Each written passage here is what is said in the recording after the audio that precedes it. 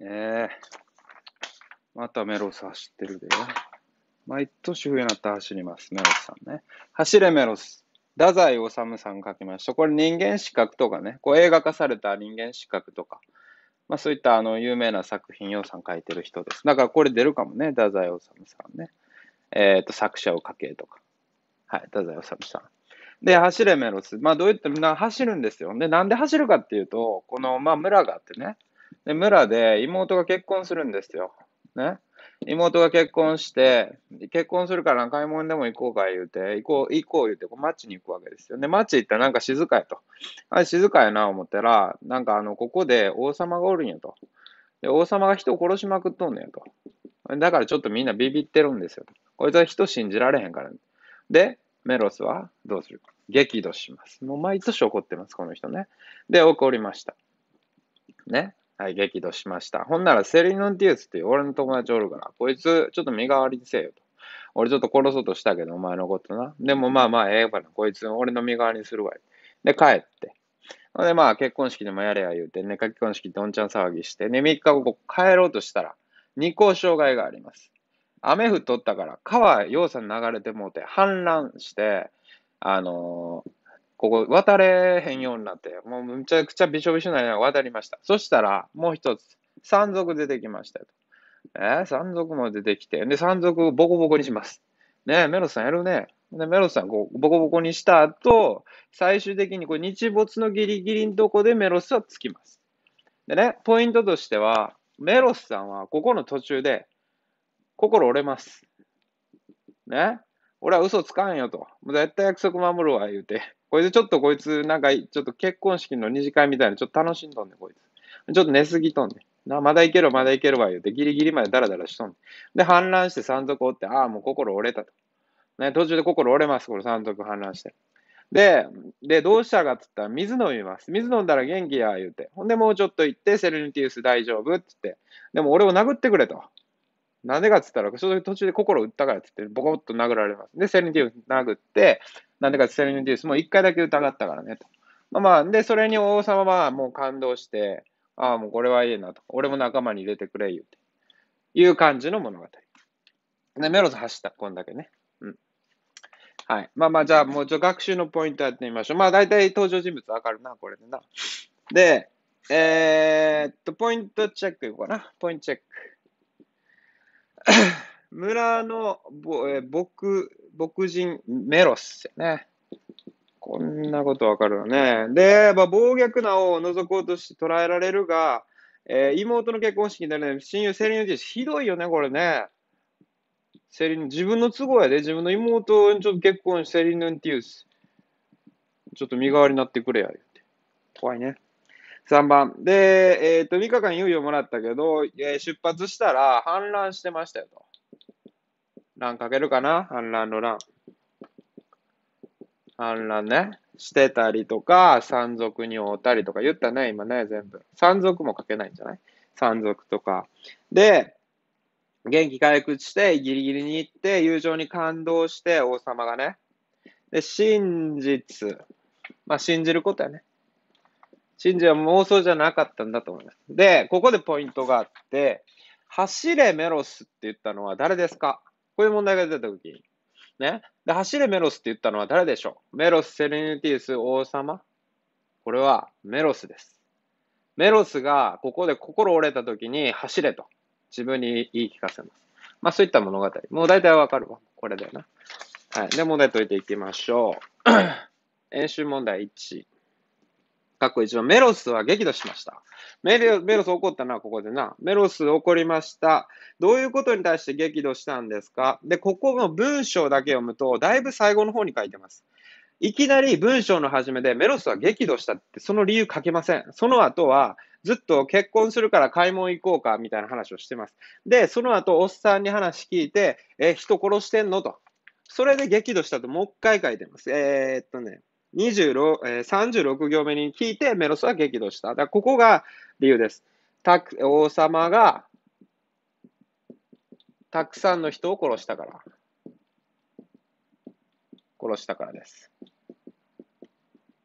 殺していること。に激怒してます。これメルス何に激怒したのって聞かれたらもう王様がたくさんの人を殺していることです。はい。で、次、えー、ごめん。丸2番。えー、っと、怒ったメロスはその後どのような行動に出ますか？メロスの行動がわかる一文を、えー、かけなさいと。だから、ここの最初のメロスは激怒したっていうのは、いきえっとね、小説の始まりっていうのは結構注目浴びたいというか、もっと読んでほしいから、ちょっとえって思わせるような、メロス激怒したって言ってから、メロス激怒した理由全然書かない。で、その後メロスは激怒したって36行目の後に行動が書いてます。37行目。買い物を、ここです。買い物をしょったままのその登場に入っていった。それが激怒した後の行動です。これ知ってたら解けるわな。で、2番。えー、ちくばの友。ちくばの友は幼い時からの友達。これも知ってないと終わり。無理。はい。で、3番。怪しく思った。怪しく思った13行目の怪しく思った。マッシの様子を怪しく思った。なぜか。その様子をの、えー、ごめん。どんな様子を見てそう思ったか。その様子はその直後に書いてるね。思った。ひっそりとしている。ここからです。ひっそり、ひっそりしている。で、どうのこうのってやって、もうすでに日も落ちてやちるぐらい当たり前だけれども、なんだか夜のせいばかりでなく、街全体がやけに寂しい。ひっそりしいからけに寂しいまで。この部分を、あの、表すから、丸とかいらないって書いてあるからね。丸入れたら×します。次4番。え、あたりをはばかる低い、えー、小声でか。小声で言ったと。なんでか。王様に聞かれたら殺されるからです。はい。じゃあ、あ、真実の話を自分を王様に殺せられるって思ったからです。これです。で、い、何が違うか。メロスは強い動きで言ったので、怖くなった違う。メロス怖くない。別に。う、えー、よそ者のメロスが怪しく、別に怪しいと思ってるからじゃない。王様に殺されるからです。えー、誰かに聞かれると困る。これは合ってる。ので、作り話を言おうとはしてません。作り話するんやったら大きい声で言ったらいいからね。はい。次、5番。なぜ殺すのだ？お前ね、なんで殺すんやろうね。ね、なんで殺すんでしょうか？で、まとめた文章。王様は人が何々だと思い込み、何、人を何々だから、と、何々から、と書いてます。ここ、なぜ殺すのなの直後に書いてます。人が悪心を抱いている。悪心を抱いている。と思って、えー、っと、その後、えー、32行目。いいえ、乱心ではございません。人を、ここ書き抜きやからね、そのまま信ずることができぬからです。からは書いてあるけどね。はい。次、6番。えー、メロスは単純な男であった。バカだね、本当に。単純とは、まあ、いい男やね。はい。とは、ドメロスはどのような性格ですか？まあ、ケンちゃんみたいな感じかな。単純やね、あの子ね。すごい怒るし。ケンゴケンゴにしようかな、これも。走れ、健吾。で、えー、っと、6番は何や？メロスは単純な男であった。単純とはエメロスのどのような性格について述べた表現ですか？次から適切でないものを一つ選び、記号で答えなさい。感情をさられる、すぐに行動してしまう性格。そうやんね。もうオラ言って、探検を持って、おしょ、ね、城の中入っていたから、これ合ってる。いい、邪悪なことが許せない。そうやね。曲がったことが嫌い。これちょっと剣語、ちょっと違う。違う、違うぞ、お前。違う。で、えー、次。う、相手に説得されると自分の意見を変えてしまう性格。自分の意見を変えてしまう性格。じゃないね。こいつはもうずっと言ったら言ったまんまのことしとるから。A です。ね。OK? で、次、えー、っと、6番、7番。えー、本文の内容に合うように、はい、どうのこうの。こんなんもう見んでもわかるな。メロスはセルニティスに会うために、違います。会うためじゃないね。妹の結婚用品を買うためです。で、王子に殺されてません。はい。次、いが合ってます。はい。ここで飛ばしたらあかんよ。う。メロスは妹とセルニティス結婚するので違います。妹は全然町のおっさんと結婚します。で、え、え、ジューリムさんだったらスクラスの町まで、シラクスの町まで来たが、実は王を暗殺すること違いますね。来て初めて王さんはひどいよねっていう話してたから。ね。これがしっかりとできるようにしてください。はい、次行きましょう。はい。えー、っと、次。えー、1番。この、その王の顔は蒼白で、眉間の下は刻み込まれたように深かったとは、はい。眉間の下は刻み込まれたように深い。はい。これは何を言ってますかっていうと、あれです。まず、えーここの前後を読みましょうと。で、えー何をするんだったか言えと。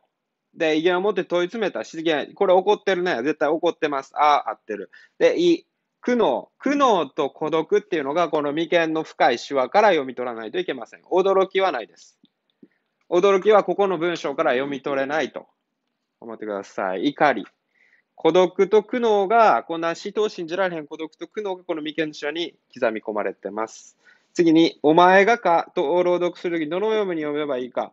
で、お前がかをは、臨床した。まあ、ちょっとふんふんふんみたいな笑い方しました。はい。あ、強い怒り込めません。い、う、怯えたように違います。え、同意の気持ち違います。い、哀れみを込めてお前アホやなっつって言ってます。次3番。わしには人の、人の渡ら、ね、腹渡の奥底が見えすぎてならぬとありますが、王はもと、ね、人間の、人間はもともとどんなものだと言ってますかはい、言ってんね、思いっきり。10行目見てください。人の心は当てにならない。人間はもともと、何つってる？ね。もう欲にまみれた哺乳類ですよ。ね。主欲の塊。ね。ね多いな。はい、次4番。処刑まで3日間の日限を与えてくださいとありますが、何するの？と。で、何するかって言ったら、その後にすぐ書いてます。たった一人の妹に亭主を持たせてやりたい3日のうちに、私は村で結婚式を挙げさせ、必ずここへ帰ってきます。はい。じゃあ、どこに帰るの？ここに帰ってたね。村に帰って、たった一人の妹に結婚式を、いいね。晩婚化が進むから結婚式っていうのは嬉しいものですね。結婚式を挙げさせると。はい。次5番。えー、そっと北総園だ時の王の心の中が描かれている部分を本文中から探して、その最初と最後の4字を書き抜きなさいと。えー、生意気な、あ、ちょっと待ってな。これ、そっと北総園だっていうあるのが、まず34行目ね。で、その時の王の心情、その後からです。生意気なこと言うわい、どうせ帰れてこないから、どうのこうの、どうのこうのって言って、39行目、やりたいものさ、ここまでです。なので、生意気なから、から、ものさまでです。ね。次、6番。えー身代わりとは誰のことですか、えー当てはまることを選んでくださいと。で、これ29行目のとこに、よろしい、この町にセリヌティウスというセセックかな、石区かな、がいます。えー私の無二の友人だと。言ってね、ここです。えー無二の友人。無二の友人のセリヌンティウスです。ティウス。というセック。セック。ちょうど石区。はい。次7番。お前の心とありますが、王はメロスがどのように考えると思っていますかと。で、7番。お前の心は分かっているぞ。で、そこの前を読んでください。すると、母、命が大事だったら遅れてこい。お前の心は分かっているぞ。遅れてきたらきっと殺すと。で、遅れてきたらええわと。お前の罪永遠に許してやるからなって。で、お前の心。王はどのように考えて、王の気持ちは？ああですね。えー約束よ少し遅れて帰ってきて、命だけは助けてもらおう思ってんねやろって、王は思ってる。で、い。王に許しを請うてこんな思ってない。う、むと、えー、担当使って王を殺してしまおうと思ってんねやったらもう殺すわな。で、次、え無二の友人のために死んでも約束守ろう。こうじゃないです。なので、これは、あが正解。次、8番。物も言いたくなくなったのは何でですか？その前読んでみると、メロスは悔しくて地だんだ踏んだ。悔しい。怒りやね。はい。あ、自分の心を見透かされてません。い、王の言う意味がわからなかった。バカなの？違いますね。う、王の言葉が意外で驚いてしまった。驚いたわけじゃないです。王様の言いそうなこと。ね。これです。卑劣な考えに腹が立ったからです。はい。ここら辺までスラスラっと言ってほしいですね。いいですか？次、まとめ問題 A ね。はい。かっこ1番。それだからを言い換えている部分を、言葉を本文中から十字なり書き抜いて答えなさい。それだから走るのだ。その後、すぐ書いてね。信じられて、信じられているから走るのだ。ここです。信じられているから走るのだ。ここですね。それだからのそれが。で、次2番。もっと恐ろしく大きいものについて次のそれぞれに問いに答えなさい。最も、もっと大きくて恐ろしいもの。ここを読んでみると、えー、その前、間に合う、間に合わぬの問題ではないのだ。えー、人の命も問題じゃないと。ね。で、あ、間に合うとか人の命だとか言ったものは人間の行動や存在そのものを支える真実、信じるということです。で、約束を守るとかそういうことじゃない。で、セレニティスとの友情とかじゃないのよ。そういう死ぬとか死なんとかそういう問題じゃないと。で、約束を破るとか約束の話じゃないのよね。もうそういう次元の問題じゃなくて、人を信じるというもっと大きなことだと。で、えー、えー、嫌をなく支配され、支配されるから嫌だとかそういう話じゃない。そういう大きいこととかではないです。はい。で、2のか、丸2か。えー、丸2はもっと大きく、恐ろしい、お恐ろしく大きいものと言い換えてる部分。ね。これ、もう見つけたかな大きいもの。これね、まあ、信じることとかそういうのを見つけていこうとかと思ったけど、もっと手前にあったね。8行目。ただ、わけのわからぬ大きな力。ここです。これはちょっとむずいかな。これ以外ないのよ。他に探しても。ね？わけのわからぬ大きな力。次3番。あっぱれ許せは誰のどんな気持ちですか？はい、そこの前を読んでみると、群衆はどよめいた？あっぱれ許せと口々にはめいた。群衆ですね、主語は。で、誰のどんな気持ち、約束という言葉を必ず用いて答えなさい。これ約束を守った、守った、メロスとセリヌンティウスを褒めたたえる。群衆の、汚いね、字が。気持ち。もう何書いてるかわからんな。気持ちです。ね。こんな感じ。まあ、すごいよねって、群衆が言ったよと。はい。4番。メロスは目に涙を浮かべていったとありますが、メロスが涙を浮かべてるのは何でですかと。えー、なんで言ったかって言ったら、その後、私を殴れ、力いっぱいに頬を殴れ、私は途中で一度悪い夢を見た。ここです。えー、なんでるかって言ったら、走っている途中で、悪い夢を見たからやったら具体的じゃなさすぎるから、えー、セリヌンティウスを裏切る気持ちを持ったから。持ったから。からです。気持ちを一度、ごめん、一度ね。ここ一度、その前に言ってるのね。途中で一度、やから、途中でセレンティウスを一度裏切る気持ちを持ったから。途中で一度ここに入れてもいいです。ごめんね。はい。5番。えー、っと、メロス、私を殴れ、セロニューネ、ね、言ったのは何でですかと。で、本文中の言葉を用いて書いてねと。で、じゃあ、セリニューティウス、メロス、私を殴れ。同じくらい音高く私の頬を殴れ。私はこの3日の間、たった一度だけちらと君を疑った。ここです。一度だけ、メロスを、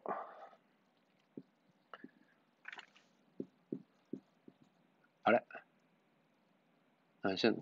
疑ったからです。はい、過去6番、最後かな。過去6番、顔をあからめてとありますが、王はどんなことから顔をあからめたのだと考えられますか？それを説明した次の文に入る適切な言葉を本文中から1話5時、2時でやってくださいと。えー、どんなことがかっていうと、その後、39行目、お前らはわしわしの心に勝ったのだ。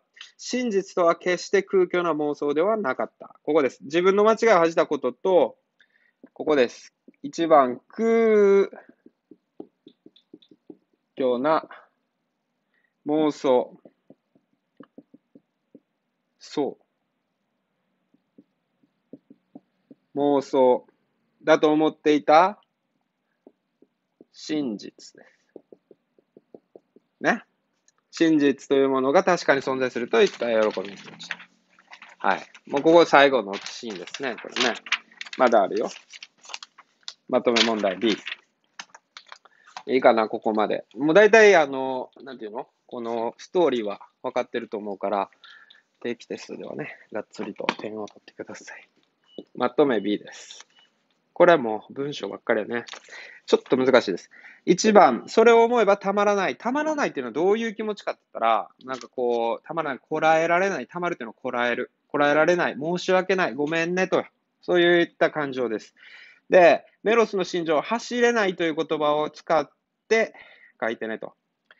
まあこれなんでたまらないかって言ったら、その後のともともの、え、違う。それを思えばたまれ、たまらない。これはもう、これね、ここ途中で心折れた時です。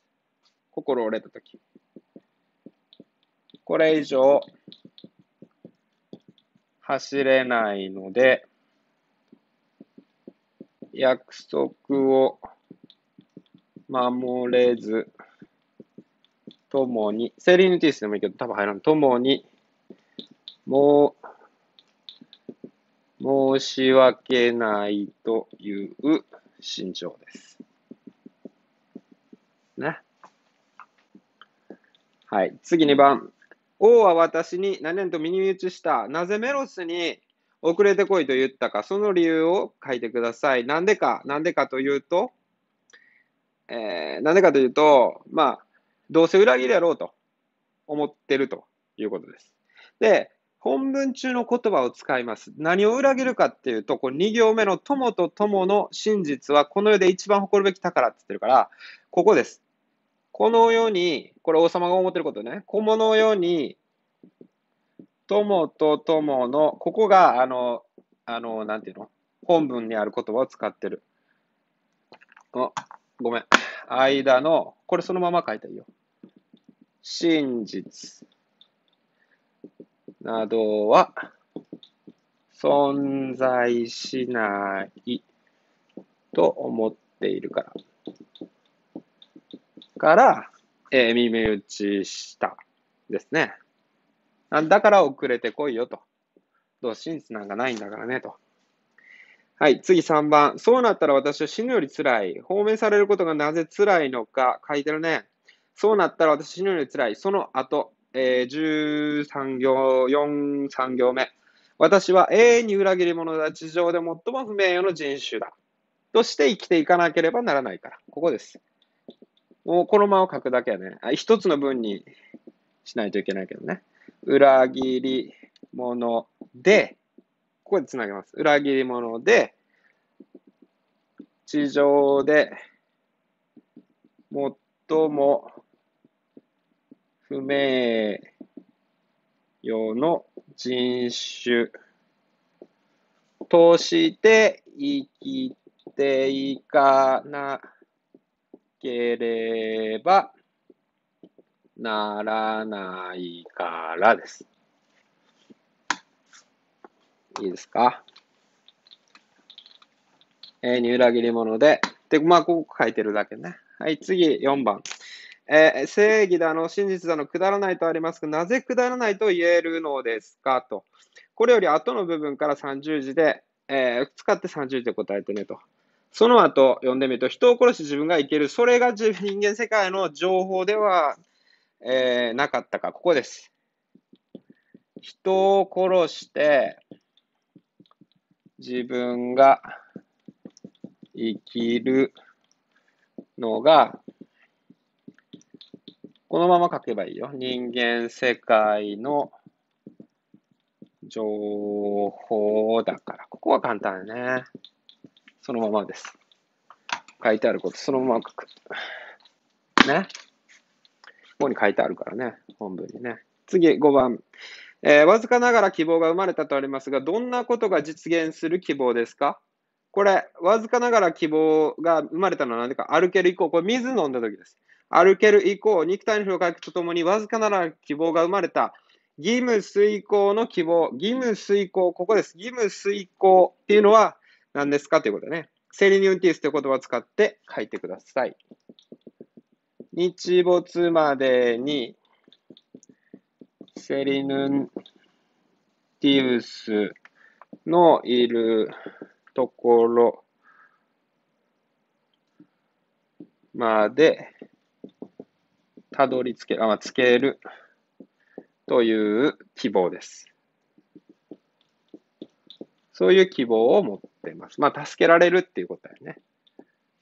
えー、言って助けられる。約束を守れると。まあ、そういったことです。で、次が6番。メロスお前の恥ではないとはどういうことですか？疲労、夢という言葉を必ず使ってねと。これラストの問題ね。えー、メロスお前の恥ではない。やはりお前は真の勇者で書いてるから、その前見てみましょう。えー、五臓が疲れているときは、ふと、不意と案内悪い夢を見るものだ。五臓が疲れている。ここが疲労を使えるとかね。で、悪い夢を見るものだ。ここをちゃんと、えー、五臓が疲れているということを疲労に言い換えて書けば OK です。人間は、疲労の極限では、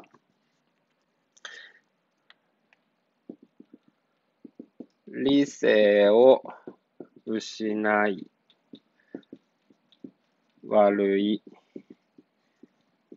夢を見るということですね。これはどういうことですか？お前の恥じゃないっていうのは人間は広げ理性を失って誰でもってことね。人間は誰でもってことね。見るという。を言ってる。だからお前のせいじゃないよと。長いね。メロスさん。終わりました。どうでした？いける？じゃあ、メロスなんで走ったかね。あ、じゃあ、走れメロスって言ったのはメロスだからね。それだけ。太宰治。はい、頑張ってください。